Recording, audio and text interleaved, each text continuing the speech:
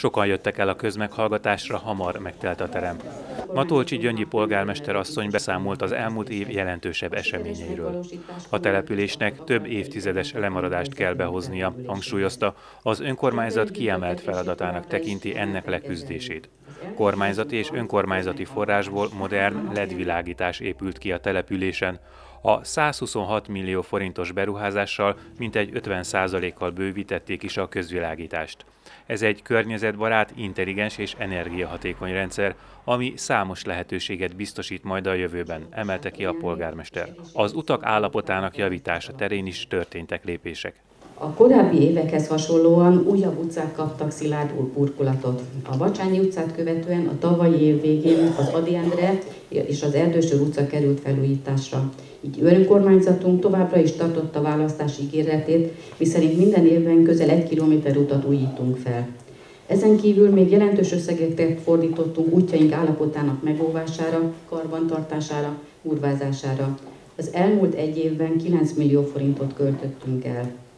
Nagyon jó hír, hogy kerékpárút pályázatunk sikeres elbírálásban részesült, így 302 millió forintból közel 4 km kerékpárút épülhet meg ez egy 100%-ban finanszírozott beruházás lesz, így az önkormányzatnak nem kell forrás biztosítania hozzá.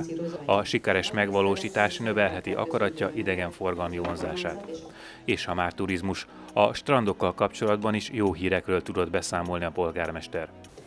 Strandjaink működtetését továbbra is kiemelten kezeljük. Az elmúlt időszakban összesen az üzemeltetésen felül több mint 7 millió forintot költöttünk strandjaink fejlesztésére.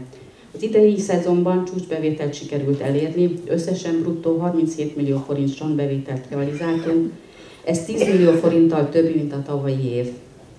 További jó hír a strandok tekintetében, hogy a Magyar Turisztikai Ügynökség által kiírt pályázaton összesen 70 millió forintot nyertünk, a támogatás 100%-ban finanszírozott amelyben az előttünk álló időszakban a Bercsényi strand főépületének napozó tereszát 40 millió forintból, a Lidó strand főépületét és vizes blokkját 30 millióból forintból újíthatjuk meg. Ezekhez a fejlesztésekhez a szerződést sikerült aláírni, Kenesétől megkaptuk a tulajdonosi hozzájárulást, így végre elkezdődhetnek a munkálatok. A partvédművek megerősítésére több mint 20 millió forintot nyertek a Viszmajor keretből, ezt közel 9 millió forinttal egészíti ki az önkormányzat elektromos kisbuszt is forgalomba állítottak, és örömmel számolt be arról, hogy évről évre nőnek az adóbevételek. A fiatalok segítésére is hangsúlyt fektetnek, 58 gyermek beiskolázását támogatták. Azon kívül támogatják az egyesületeket is, akiknek a munkáját köszöni. Siker, hogy ennyire aktívak. Szeretném felhívni a figyelmüket, hogy a tavalyi évhez hasonlóan az idén is meghirdetjük az utcai gyümölcsfák ültetését közterületen a lakossággal közösen, hiszen a település fa és növényállománya is leromlott, kezelésre és gondozásra szorul. Mindezeket összevéve úgy értékeljük, hogy akaratja jó úton jár, amelyet a lakosság támogatása nélkül nagyon nehezen lehetne megvalósítani. Az emberi értékek egyenként is megmutatkoznak településeken, amely garantálja, hogy Balaton akaratja történelme, jövőbeni tervei, értékei fennmaradjanak. Az eredményekről egy képes összeállítást is levetítettek. A polgármester bejelentette, hogy ismét két alpolgármestere van Balaton akaratjának. Dr. Imrédi Szabolcs a jogi ügyekért és a leválással kapcsolatos ügyekért kapta a társadalmi megbízatását. Az új alpolgármester be is számolta a leválással kapcsolatos peres eljárás jelenállásáról. Egy éve tart a per, és én azt gondolom egyébként, hogy jó ütemben halad ahhoz képest, hogy az ilyen hasonló perek mennyi időt szoktak igénybe venni. Jelen pillanatban ott tartunk, hogy a határt igyekszik kijelölni a bíróság.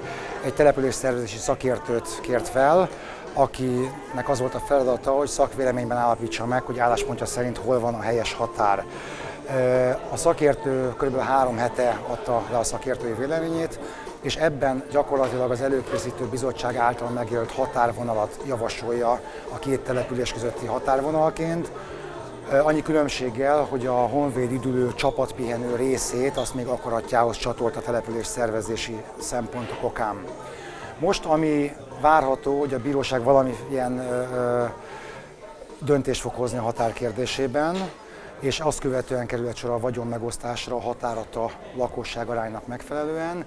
A mi álláspontunk szerint a teljes vagyont fel kell mérni, egy ingatlanforgalmi szakértőnek, illetve egy könyvszakértőnek, és ez alapján lehet majd a későbbiekben megcsinálni a, a vagyonmegosztást. Nyilván kenesének más az álláspontja, szintén a bíróságnak kell dönteni abban, hogy indokolta a vagyonszakértő általi felülvizsgálat, vagy nem indokolt. Én bízom benne, hogy ez még az idei évben, decemberben kiderül, és akkor haladhat tovább a per.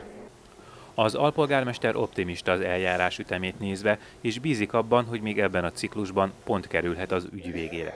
Ez azért is fontos, mert a település törzs vagyona sincs még akaratja birtokában, ami többek között a pályázatok tekintetében is nehézé teszi az ügymenetet.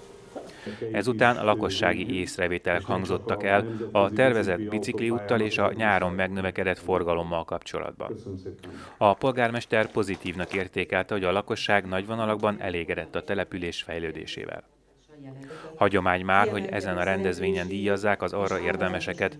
Postumus díszpolgári címet kapott Karakoppány, a település életében betöltött kiemelkedő szerepéért és áldozatos munkájáért. 1990-ben a rendszerváltás eredményeként több régi akaratjás család leszármazottja lehetőséget látott arra, hogy újjá alapítsák a korábban megszüntetett Balaton akaratjai fürdőtelep egyesületet. Ennek a kezdeményezésnek volt élharcosa Karakoppány. Neki köszönhető, hogy az Egyesület rövid idő alatt megújult és működőképessé vált. Karakoppány 7 évig 91-től 97-ig állt a Fürdőtelep Egyesület élén. Több éven át sikeresen dolgoztak együtt, egy lelkes és aktív elnökségben, ahol az elnök személyén kívül több meghatározó egyéniség is tevékenykedett. Az Egyesület működése alatt megerősödött. Szintén díszpolgári címet kapott dr. Poltai József. Vízügyi szakmai tevékenysége nagyban hozzájárult a Vízközmű Társaság alapításához, működéséhez. A legnagyobb érték akaratjával, ami az elődök, az alapítótok, alapítóktól elindult, az az összefogás, a széleskörű lakossági összefogás, ami vitte előbbre akaratja fejlődését, és juttatta el az ezredfordulóra oda akaratját, hogy mindenkinek a lakásában van már a vízvezeték, a szennyvizet elvezetik, minden lakásból. Ez nagy érték, és ahogy a hozzászólásomban mondtam, országosan is példaérték. A közösség érdekében végzett kimagasló munkájáért, Balaton akaratjáért érdemérmet vehetett át Ladányi Imre, aki több egyesület lelkes, segítőkész tagja, munkájával, főzésével a rendezvények állandó résztvevője. Szintén érdemérmet kapott dr. Urvári Sándor István, tornász edző, aki hét olimpián is képviselte a magyar érdekeket a tornász versenyeken. Nevéhez köthető az évtizedeken át megtartott Szent István napi ünnepségek, valamint a Vasalbert emlékkő felállítása is, de tevékenységével sokat tett a településért.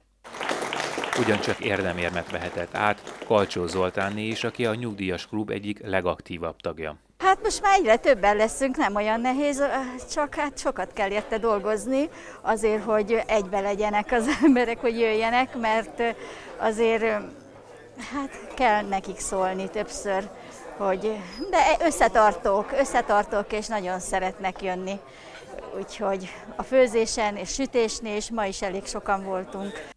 Érdemérmet kapott még Hanák István is, aki két és fél cikluson keresztül az egészségügyi szociális bizottságban igyekezett a lakosok érdekeit képviselni.